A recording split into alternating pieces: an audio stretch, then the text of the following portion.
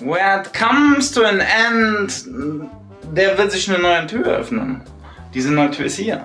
Guten Tag, Leute. Direkt am Anschluss vom alten Vlog startet der neue Vlog. Heute steht wieder einiges an, denn wir fahren gleich zu Ikea. Mama hat mir eine fette To-Do geschrieben. Ich habe richtig immer Panik, wenn da schon To-Do steht, so bei WhatsApp. To-Do und dann Punkt, Punkt, Punkt. Aber es geht. Er weiß, es ist schon viel. Äh, aber wir werden das meistern. Das sieht hier alles noch aus wie Kacke ein bisschen. Hier steht jetzt die Schuhbank, wobei es eigentlich ganz gemütlich aussieht, wenn es kein Schuhbank wäre. Das Bücherregal muss weg. Der Kinderbank passt hier immer noch hin, ne? Habe ich ja euch vor drei Minuten gezeigt, aber für euch im letzten Blog. Und hier sieht es halt auch katastrophal aus. Aber das werden wir alles in den Griff bekommen. Babcha ist da. Babcha isst gerade Frühstück mit Mareczka, aka Mara. Mara bekommt heute Pfannkuchen. Oder wie man auf Polnisch sagt, Naleśniki mit Apfelmus. Schmeckt das? Jacke dobre? Ja, na klar schmeckt das. Hat ja schließlich auch die Uroma gezaubert, ne? Ich gehe mich jetzt fertig machen, weil ich muss schleunigst los. Lia kommt nämlich heute wieder. Die war ja im Urlaub. Da muss ich natürlich dann auch zu Hause sein. Und Maras neue Aufgabe ist, diese, diesen Schutz hier überall abzubauen. Achso, hey, wenn euch unsere Vlogs gefallen, lasst jetzt an der Stelle sehr, sehr gerne einen Daumen nach oben da. Einmal, einmal da klicken, einmal zack, Eck. Das ist die falsche Ecke, richtig? Das ist die falsche Ecke. Kurz um links, das ist die falsche Ecke. Hier müsst ihr Daumen hoch geben. Gebt hier einen Daumen hoch. Wir haben hier diesen Kantenschutz natürlich noch dran. Der war ja eigentlich für Mara, aber der darf natürlich sehr gerne dranbleiben. Aber sie macht den jetzt immer ab. So, hier jetzt ist ganz abgemacht. Mareczko, Mleczko. Das Laufgitter muss ich nämlich heute auch noch aufbauen. Mareczko, Mleczko. Hm. Mara telefoniert jetzt gerade mit Mama. Und sie gibt natürlich das Handy. Mara? Geht nicht her. Papa? Ja, ich bin Papa.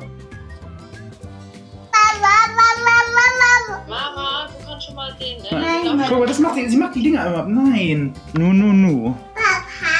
Ja, ich bin Papa. Ich fand das nicht gekauft, das reicht eine Woche sicherlich. Ja, aber vielleicht will ich ja auch mal eine äh, snacken, wenn ich da ah, bin. Ah, ja, ja, ja. Das ist klar, dass du nicht kriegst, weil du bist ja nicht auf Diät. Ja, ich weiß das. Aber dann sag kurz meine Oma Bescheid. Ja, sag mal kurz deine Oma Bescheid. Sag mal kurz Bescheid, komm mal, schaust. Einfach Smatschnego, ne? Einfach hinweg. Ich habe hier jetzt gerade die äh, Tapeten bestellt. Richtig geil. Ey. Vielen Dank für Ihre Bestellung bei Knutzen Wohnen. So muss es sein. Ich kann euch ja mal einen Sneak Peek geben. So. Sieht das nicht absolut geil aus? Wir haben uns verliebt. Ich dachte, ich wäre nie so ein Typ, der irgendwelche so eine Tapeten hat, so Glöckner-Tapeten oder so. Aber das, man kann da schon echt geile Sachen machen. Hoffentlich sieht es auch so aus, äh, wie ich mir das vorstelle. Und jetzt fahre ich zu Ikea. Ich habe hier noch einen von den Strammlern, die wir eigentlich für die Krankenhausentlassung haben.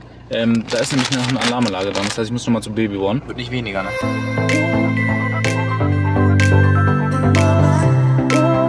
fängt schon mal gut an auf jeden Fall. Als erstes, falls das nicht in mein Auto passt, ist gerade kein Transporter verfügbar. Und zweitens, und dann habe ich jetzt gefahren. Ich kenne den Weg ja, klar. Ich kenne das, wenn man so geistesabwesend nicht jetzt daran denkt, ah, ich fahre jetzt zu Ikea, sondern aus Routine Richtung Krankenhaus sozusagen fährt. Und jetzt bin ich in die linke Röhre gefahren, aber dann komme ich nicht von der Autobahn, wo ich raus muss, zu Ikea. Das heißt, ich muss jetzt einen Umweg fahren. Ich habe hier hinten ja alles freigeräumt. Das Beste wäre jetzt noch, wenn die Sachen nicht reinpassen. Ich messe das gleich zwar aus, aber stellt euch vor, ich kaufe das schon, laufe damit zum Auto und komme da mit den Sachen nicht weg. Das hat er bestimmt nicht mit Absicht offen gelassen. Angekommen bei Ikea. Das ist ja schon irgendwie Platz. Da ist schon Platz. Aber ich habe hier, ne, ich bin ja Vater, ne, wisst ihr. Zollstock natürlich dabei. Der wird jetzt hinten in die Hosentasche geklemmt, dass das T-Shirt natürlich nach oben ist, dass man das sieht. Ich bin jetzt hier im SB-Lager. Hier könnt ihr den einmal sehen. Also das wäre dieser Hocker. Und das ist der Sessel. Ich habe gerade nochmal ausgemessen das Auto. Hier habe ich ihn gefunden. Ich hatte mir einen Screenshot im Handy gemacht, wo die Sachen schon sind, damit ich einfach noch hinlaufen muss. Der ist auseinandergebaut. Also hinten die Lehne ist nicht dran. Das heißt, das Paket ist, wie ihr sehen könnt, gar nicht so groß. Passt easy rein. Sehr gut. Würdet ihr diesen Stuhl dazu nehmen oder nicht? Sie will den nicht haben, aber sie legt sich eigentlich auch so immer die Füße hoch. Das sind das 100 Euro nochmal, ne? Für diesen Hocker. Den kann ich ja sonst nochmal nachkaufen. Ich denke, das wird echt cool, so ein Stellen. Ja. Easy. Next Step, Brusali, Schuhschrank. Weil wir ja jetzt Platz für den Kinderwagen da brauchen, brauchen wir einen Platz für Schuhe. Haben wir noch auf Lager. Sollte auf easy reinpassen.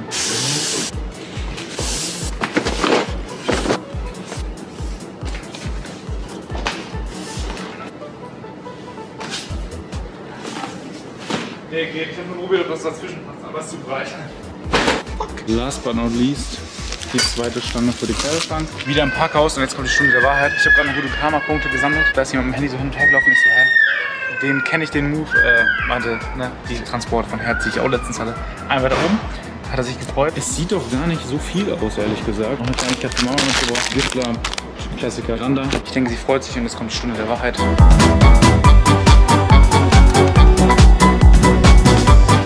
Decke, Celine. Die Decke haben wir immer noch von der Baby, äh, ne? Linda. Gender Reveal. Und ich habe mir noch Sorgen gemacht. Hier ist noch so viel Platz. Ich bin heute so unnormal früh, sie wird gar nicht mit mir rechnen. Geil. Wir sind hier bei unserer Lieblingsmilchkuh angekommen. Hast du dich gewundert, dass ich so früh da bin? Ja, Und ich habe den anderen Bulek hier. steht. Man merkt, er kriegt auch schon Hunger, also er ist schon unruhig. Und sie war auch ganz verwundert, dass das natürlich alles in den Audi reingepasst hat, aber es hat easy peasy reingepasst, weil... So wird ein neues Auto, ey. Pack ja alle Kofferraum an. Hä, wir sind so blöd. Wir lassen einfach die ganze Fläche umgeklappt und legen einfach alle da rein hin. Ja, Oh Mann, wieso habt ihr das nicht früher gesagt, dass wir uns einen Bus kaufen müssen? Da passen noch zehn andere Kinder rein. das sparen jetzt aber echt lange Geld. Das ist geil. Das ist entspannt. Da brauchen wir auch gar keine Kindersitze, können wir die zurückbringen. Kissen, ne? Und Ja. Körper? Decke und Kissen. Ja. Danke für die, danke für die Tipps, Leute. Falls ähm, ne, einige Humor, Baby dabei sind, das war natürlich ein Spaß. Ähm, aber der Stauraum, wenn die... die Loser, die es nicht gecheckt haben. Ja, ist so, Digga, ihr Keks, Alter. aber jetzt mal no joke, der Stauraum ist wirklich sehr, sehr viel, wenn man den jetzt umgeklappt hat. Für die Wohnung damals, bei Ikea mal waren und da Umbau gemacht haben, da hat er auch mal richtig viel Ja, oder reingemacht. wa- als wir die ersten vier Fahrten beim Umzug gemacht haben. Da haben wir, weißt du, wie viel wir da reingeladen haben? Ja.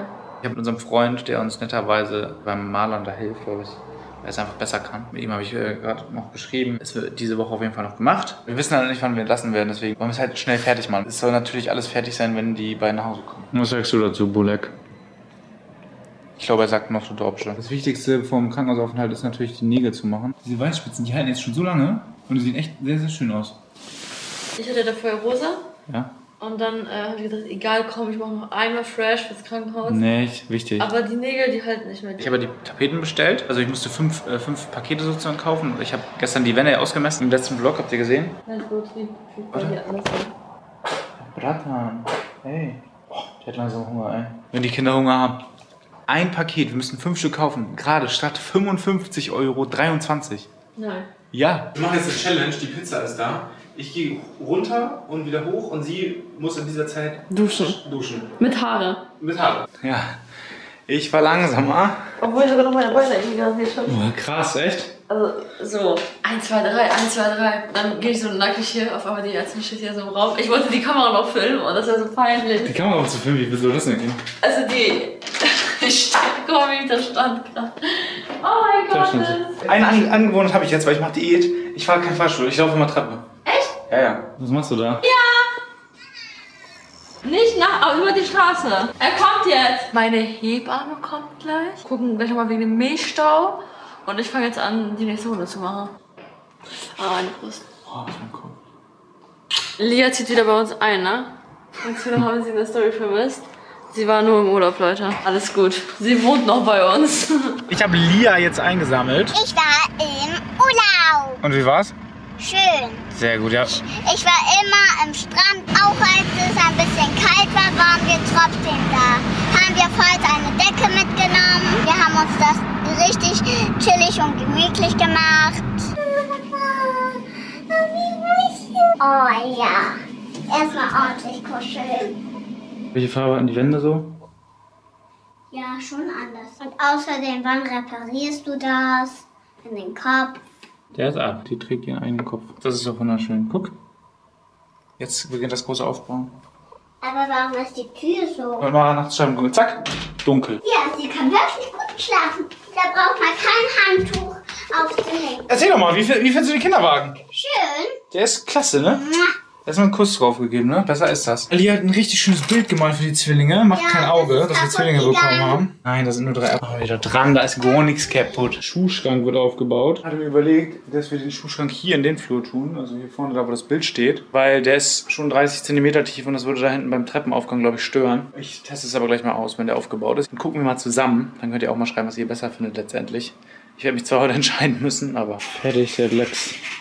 Ich zeige dir das jetzt mal. Also entweder hier. Sieht Ja, schön. Ja? Ja, oder? Weiß nicht. Hier. Oh, sieht auch schön aus. Boah, ist voll schwierig. Er passt halt nicht zu diesem Hochglanzding, finde ich. So. Aber erstmal sind da schwarze Knöpfe dabei, was schon mal gut zu dem Spiegel passen würde. Guck mal, das steht fast gar nicht über. Oh, ist das das, oder? Ich finde das, glaube ich, auch besser. Schreibt mal in die Kommentare, wo ihr das hingetan hättet. Ich baue jetzt hier gerade das Ding ran. Ich habe jetzt hier gerade so mega geile Dübel. Und zwar Hohlwanddübel. Das ist so extra für... Hier sind so diese Wände, diese... Ist das Rigips? Sieht man meinen Kopf? Hm? Sieht man meinen Kopf? Ja, natürlich. Da ist ein Loch Mhm. und hier ist ein Ja, jetzt müssen wir nur hoffen, dass das passt. Auf jeden Fall, die macht man so, macht man mit dieser Pistole so zack und dann spreizen sie sich hinter der Wand auf und dann hält das nämlich. Sonst, also damit könnt ihr schwere Sachen an solche Wände hängen, also richtig gut. Oh. Jetzt steht das gute Stück hier endlich. Was sagt ihr? Steht auf jeden Fall fest. In die Mitte von diesen viereckigen Dingern wird Hochglanzfolie kommen. Und dann wird das optisch auf jeden Fall ein sehr schönes Gesamtbild geben. Und was ich mir jetzt auch noch gedacht habe, oder auf jeden Fall, weil wir haben einfach so viele Schuhe und jetzt haben wir noch äh, zwei Boys, die bald nach Hause kommen. Da kommt dasselbe nochmal hin. Dann haben wir auf jeden Fall Platz für irgendwie 36 Paar Schuhe oder so und dann reicht das auch für uns. Morgen geht's weiter mit den Vorbereitungen. Der Sessel muss aufgebaut werden und noch viele weitere Dinge stehen an. Seid auch dann gerne dabei. Wenn euch dieser Vlog gefallen hat, lasst sehr, sehr gerne einen Daumen nach oben da, um uns kostenlos zu unterstützen. Schreibt gerne einen Kommentar, wo findet ihr den Schrank besser und so weiter und so fort. Und folgt uns durch dem Kanal, um unseren Weg mit den Zwillingen und als quasi als Großfamilie nicht äh, zu verpassen. Tschüssi! Tschüss.